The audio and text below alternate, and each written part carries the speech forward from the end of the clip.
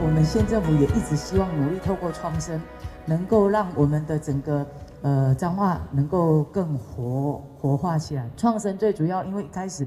人口数的一个流失，那国发会就开始很努力的在这个区块，要怎么样透过让青年返乡，让更多在地的元素能够被发现哈。那我想我们最近在。呃，核心青创基地的一个改造，引进青年朋友的的投入，变成地方一个重要的打卡景点跟地方的一个观光点哈。那点线面再去串联，我想，呃，希望也是有更多这样的一个案例，能够让更多的青年朋友返乡哦，打破我们过去的一些呃框框，然后怎么样把地方的一个特色，透过我们在地的这个人情世各各种的部分哦，把它。这个衍生出来，那也跟利用机会也跟我们美玲姐这个交流一下。我们现在努力在做一个横跨好几个乡镇的一个这个东罗西的一个改造。我们希望透过这个东罗西的整体的改造，让地方的环境更好。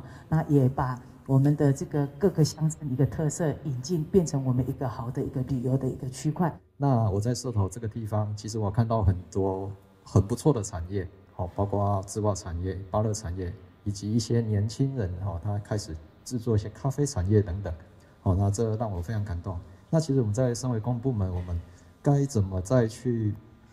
用我们公部门的力量，再去感动他们，让他们可以再去更凝聚这一个心？他们要的是什么？要的是一个整合。比如说，我每一个乡镇一定要有自己的特色出来嘛，对不对？所以你如果个别的去去自己去打拼，其实真的讲没有办法去看出整体的特色。如果能够把它整合，这些产品把它做一个整合，然后给它一个故事，跟在地去做一个结合之后，像现在呃也有很多地方就开始发展了，属于我这个乡镇的一个整体的一个礼盒啊，或者是这个产品的一个代表。可是我每一个都能够说故事，你要注意到，就是说，当我把这个盒子打开的时候，不要让我觉得这是啊，这个就这是 A，这是 B，这是 C，个别个别的，你必须要让那个产品让人家打开以后就知道说，哦，这个就是这个地方的一个代表。那这一个它的文化上面有什么样的意涵，或者是在它的这一个呃土地上、地理上面有什么样一个特别？这样子的话，它才能够有一个完整性出来。这是地方，我相信他们一定会需要公部门去帮忙的，因为他们没有这样的能力去做这个整合。因为这个事情不是只有县政府，哦，甚至于像刚才我们每年讲，明年度开始，地方那个民间的啊的团体又进来了，啊，这个就非常这个大家是等于说一定要是跨跨域的合作。